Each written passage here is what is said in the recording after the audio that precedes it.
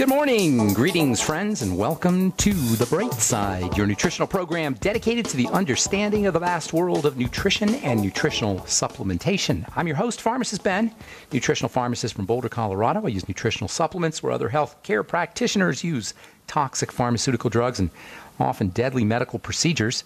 If you suspect that there are natural nutritional roads to your vitality and health and well being and to addressing your health challenges, whatever they may be, but you don't know where to begin, you have come to the right place. As you listen to the bright side every day, you are more and more in control of your body. You are more and more knowledgeable, and you know you can overcome any health issue. That is why we are here every day on the bright side, helping clear up the sometimes confusing world of nutrition and nutritional supplementation.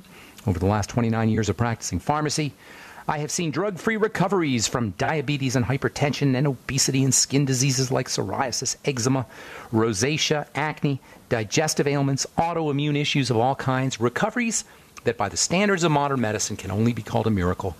But what is in the world of the body, what is in the world of biology, standard operating procedure, because the human biological system is a healing system. It's a regenerating system designed divinely to heal and renew itself on a moment to moment basis. And while some folks may call that a miracle, it really is just the way the body works.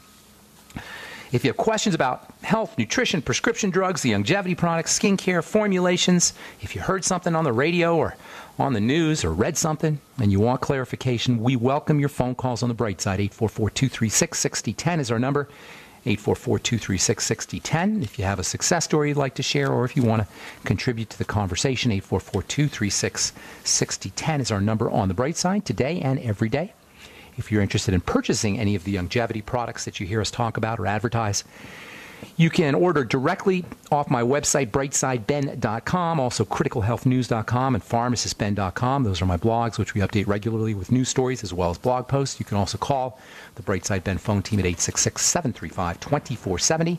866 735 2470. And if you're interested in purchasing any of our truth treatment products, including our retinol 5% gel, anti wrinkle, anti dark spots, overall skin conditioning, vitamin A, made with 5% retinol, non irritating, no preservatives, no surfactants, and a big old honkin' dose of fat soluble premium lipophilic vitamin C, 25%. You can find out all about it at truthtreatments.com. You also see our other truth treatment products at truthtreatments.com. Okay, thanks for joining us once again on the bright side. We're talking skin, we're talking pigmentation, but really we're talking skin and pigmentation in the perspective or, or in terms of the entire body. Hyperpigmentation is not a skin issue necessarily. It's not only a skin issue. Yeah, it appears on the skin, obviously, but it's related to the internal milieu. This is one of the key, maybe the key point to understanding how to have beautiful, youthful skin. Beautiful, youthful, soft skin, pretty skin, non dark skin that's even in tone, that doesn't have dark spots on it, is about the internal milieu. It's not about the topical for the most part. There's a couple things you can do topically. We've talked about vitamin C, we've talked about retinol and vitamin A. With the exception of these two nutrients, vitamin C and vitamin A, and also alpha hydroxy acids, and we're going to talk a lot about the uh, alpha hydroxy acids, lactic acid and glycolic acid, etc. We'll talk about skin peels because there's lots you could do using chemical exfoliation and skin peels, and we're going to spend a lot of time talking about that. But aside from these three exceptions, AHAs, alpha hydroxy acids, vitamin C, and vitamin A. If you got a skin condition, you got to work on the inside of the body. As far as hyperpigmentation goes, think adrenal. Think adrenal glands. Now, when you uh, when you think about it, the epidemic of, of hyperpigmentation that we've we've got going on, it makes perfect sense when you understand that the adrenal glands are our stress glands, our stress management glands, and all of us are running hyperadrenal if we're living in 21st century America. It's almost like we've created a culture that's designed to make us hyperadrenal. We've created a culture that's designed to freak us out. We've created a culture that's designed to have us in fight or flight mode. Just watch TV. Just watch CNN and Fox News. Everywhere you look, there's another reason to be scared. There's another reason to be afraid. There's another reason to think the sky is falling. Is it any wonder that our adrenal glands are freaked out and that we're dealing with adrenal fatigue or hyperadrenal activity? Why we have insomnia? Why we have anxiety issues? Why our digestive system is shutting down? Why we're hypothyroid? Why we've got autoimmune diseases? These are all related to excess burden. You know what? If you want to pick one thing to think about or one thing to focus on when it comes to health and wellness and longevity, it's this issue of burden on the body. Behind every single health challenge, you will find a burden on the body that precedes it. It's in the word disease itself dis ease, out of ease, in stress, in survival mode. This is so important because what it says is all we got to do is figure out how to relax and reduce the burden on the body, and the body will take care of health itself. There's no doctors required here. In terms of the adrenal glands, one of the major manifestations of excess adrenal activity of a stressed out system is infertility. According to the CDC, it affects 12% of women between the ages of 15 and 44. And infertility is not just a woman problem either, it affects men too. 7.5% of uh, all sexually experienced men younger than the age of 45 reported seeing a fertility doctor at least once during their lifetime. That's almost 5 million men. And 18% of those men were diagnosed with a male related infertility problem. It makes perfect sense when you understand that the adrenal glands, your sex glands, your infertility glands, or your fertility glands, are also your stress management glands. If you go to the OBGYN for complaining of infertility or your endocrinologist, you're going to get hormone treatments. You're going to get fertility drugs. This is craziness, you guys. When was the last time somebody went to the doctor and, and complaining of infertility and they got oxygen treatments? If you're trying to conceive a baby before you're before you try to conceive, before you have before you try to have the egg meet the sperm, relax. Take a hot tub, take a hot bath, have a massage. Deep breathe. Before you try to conceive a baby, if you're trying to if you're trying to make a baby, before you're trying to conceive, relax the body. This is so important. It's not it's not simplistic, you guys. This is not silliness. Relaxing the body is the best medicine there is, and you don't need a doctor for it.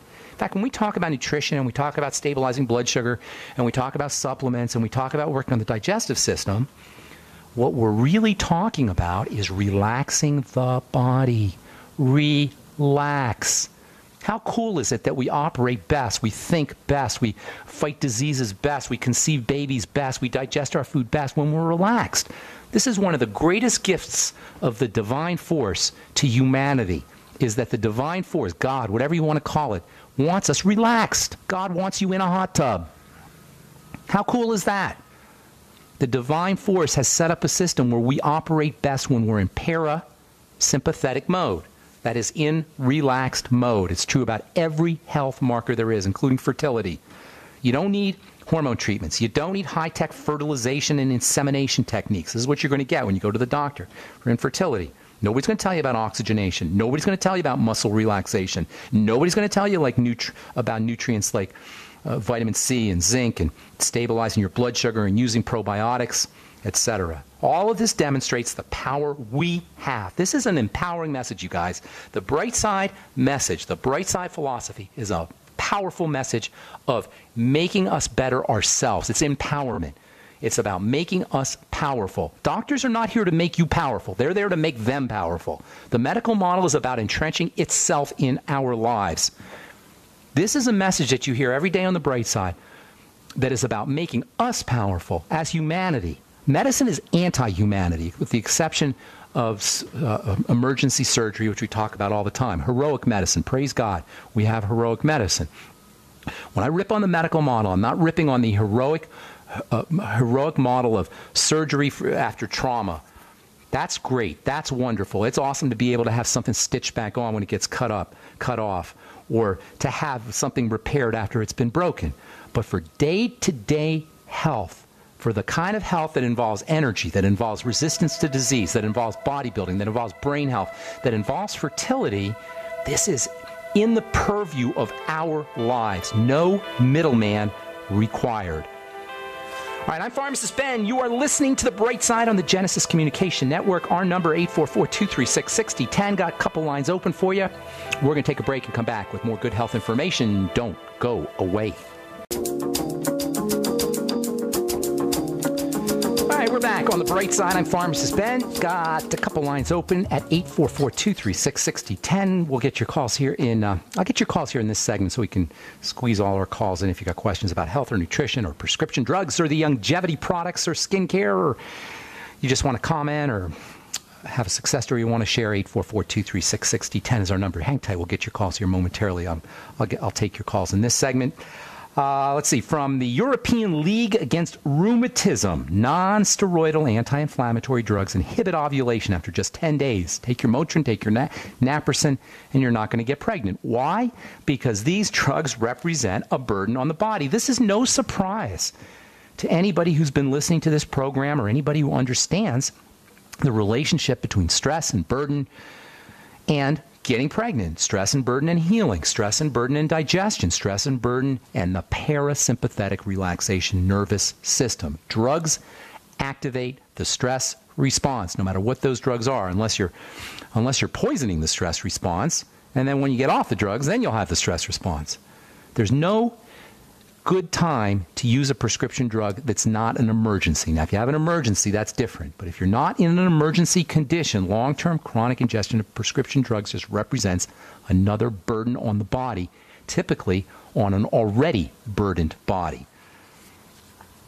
This is all about power, folks. This is all about the power we have over our health conditions. This infertility epidemic is kind of weird when you think about it. All higher animals are procreating machines. That's our primal directive is to make babies.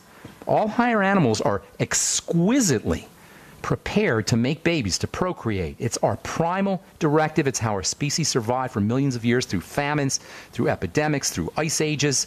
And while infertility has been blamed on things like unhealthy diets and obesity and xenoestrogens and pesticides and broken down sperm cells and egg cells, those all probably play a role. The most fundamental, basic reason for a lack of conception is stress, particularly as a result of adrenal hormones, cortisol and estrogen specifically. Cortisol and estrogen pumped into the blood as a way for the to help the body manage stress. If a woman can't make a baby and she goes to an EG, OBGYN, She's going to get a hormone fertility drug. She's going to get artificially inseminated. She's going to get in vitro fertilization. And no one's going to think of the simple strategy of getting a back rub before she tries to make a baby. Does that sound silly? It's not. A back rub is not silly. A back rub is good medicine. If you have a blood pressure cuff, all right, get a blood pressure cuff. Get the Omron 10. I talked about that yesterday. It costs you 70 bucks on Amazon.com. All you do is put it on your arm, press a button, and it'll read your blood pressure. And everybody should have one who's concerned about their health. Just to see, just to see the, the way lifestyle and behavior and thoughts and foods can affect your blood pressure. Anyway, get yourself an Omron cup an Omron cuff, take your blood pressure, have somebody rub your back for 15 minutes, take your blood pressure again, and watch what will happen. And when your blood pressure returns down to stable, returns to a, a, a lower, a lower um, systolic and diastolic position, you're going to be ready to make a baby. That's a great way, by the way, if you're trying to conceive and you can't, just get a blood pressure cuff and do everything you could do to lower your blood pressure to where it needs to be, and then try to conceive a baby. If you're dealing with an infertility issue, all you need to do is address the major points of bodily breakdown that are behind all health issues. Inability to conceive is related to the same things that cause all health issues, and they require the same healing strategies. No doctors required. Nutrition, digestion, blood sugar, relax the body, emotional, mental, psychological, even spiritual strategies, none of which is medical. That's not just to make a baby, that's to heal your bones, that's to get bigger muscles, that's to reduce the likelihood of heart disease and improve eye health. It's to improve everything. Medical, the word medical comes from the word, root word med, as in middle. A medical man is a middleman, cynically insinuating themselves between the patient and the ability to self heal the same way priests of old used to cynically insinuate themselves between human beings and God. Oh, don't worry about your life. Don't worry about what you're doing. We'll take care of everything. You just give us your house. You just give us 10% of your salary. And then we'll talk to God for you. So today, we we're not that dumb. That was the Middle Ages. That was the Dark Ages. They were dumb back then. Today, we're smart. We just use doctors instead. Doctor, don't worry about the sugar. Don't worry about your lifestyle. Don't worry about your cigarettes. Don't worry about the food you're eating because we are middlemen. We'll take care of it and we'll talk to the healing God. We'll talk to your healing angels for you. You continue eating how you want. here's a prescription drug, and here's a bill. That's our medical.